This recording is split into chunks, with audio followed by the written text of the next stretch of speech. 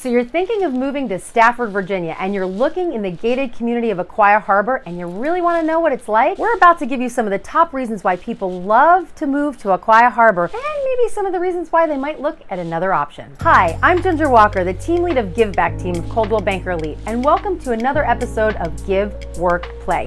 We're going to talk about everything about living and giving in Northern Virginia. Hey, and make sure you stay tuned to the end where I give you the website that's going to give you the most requested neighborhoods in the Stafford area. So in this video, we're going to give you some of the great things about living in Aquia Harbor in Stafford, Virginia and well, maybe some of the not so great things too. So Aquia Harbor was originally designed as a weekend getaway for congressmen and people who wanted to boat and well, just someone who wanted to escape the everyday life of working in DC. Aquia Harbor is now geared towards anyone that wants to live in an amenity-filled subdivision that's close to shopping and dining with a quick drive right to Quantico or easy access to Route 95 and Route 1 heading up north to DC. We know you might not have a lot of time, so here's a quick list of the top reasons why people love living in Aquia Harbor. It has unique style houses. The one right next door to you might be a completely different style home than what you're living in. And it's a gated community, and it's unlike any other subdivision in the North Stafford area. Some of the things that the community includes 24-hour gated security, 24-hour police department. It has two swimming pools, not one, but two, and it even has a summer swim team. It has a marina, so if you have a boat, well,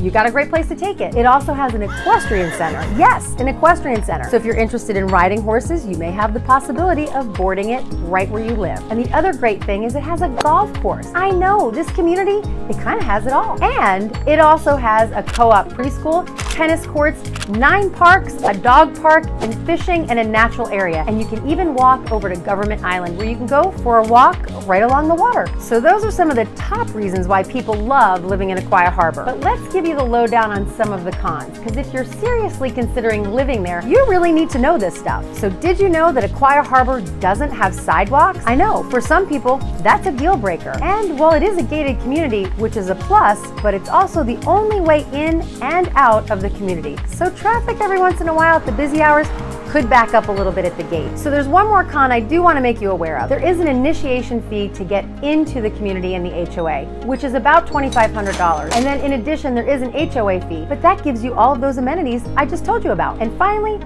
some of the lots could be a little bit hilly. There really aren't a lot of cons to living in Aquia Harbor, but those are the top reasons why some of the clients that we work with might pick one community over another. So I hope this video gave you some insight about the pros and cons of living in Aquia Harbor in Stafford, Virginia. We help people move every day to the Northern Virginia, Stafford, Fredericksburg area. So if you have any questions, please feel free to reach out. I'm happy to answer them for you. And don't forget to like and subscribe to this video and this channel if you want more information about all that's living and giving in Northern Virginia. And I didn't forget, I know I mentioned at the beginning of this video that website where you can get more information about Aquia Harbor and maybe even see some videos and pictures too. Go to givebackteam.com, go to the guides bar up at the top, and you're going to find a video specifically all about Aquia Harbor. I'm Ginger Walker, the team lead of Give Back Team of Coldwell Banker Elite. Thanks for watching.